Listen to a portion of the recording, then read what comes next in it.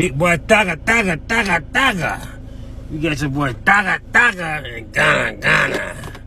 Man, they say your boy Gunna, Gunna done snitched on Thugger, Thugger again, man, in the courthouse, in the jailhouse, man.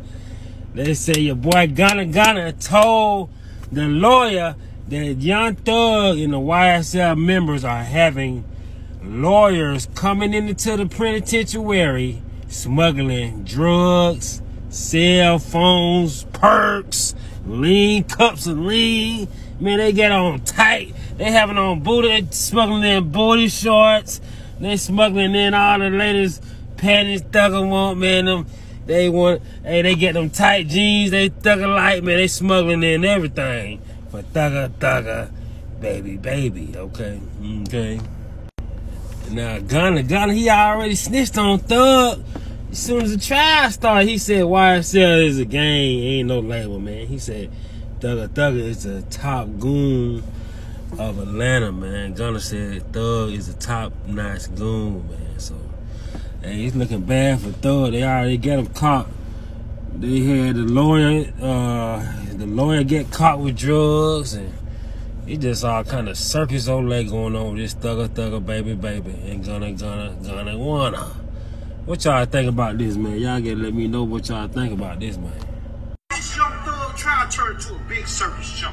This turned to a big clown show. From the attorneys to the goddamn DAs to the goddamn uh, jury, everything turned to it. Even the YSL member, even Gunna part of the clown show. This is circus circus all night.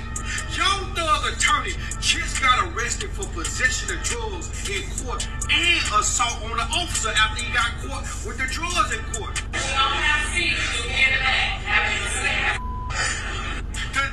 Has ordered all YSL attorneys to be handcuffed and searched for contraband at every court date moving forward. Sources told me that Gunna attorney sent the judge a kite. He snitched on Young Thug lawyers, secretly informing the judge that YSL been getting illegal substances, aka contraband, in the jail through the attorneys in court. Now, if you look back a couple months ago, one of the represent Young Thug got caught trying to kill Young Thug Percocets. But this time, they caught the lawyer red-handed with real purpose. And when they caught him, he got so goddamn mad, he threw a phone at the officer. They immediately arrested him for possession and assault on the officer. The attorney is probably gonna lose his fight, probably gonna get this ball and lose his practice for being an attorney for trying to smuggle drugs for a little bit extra money. Think about this.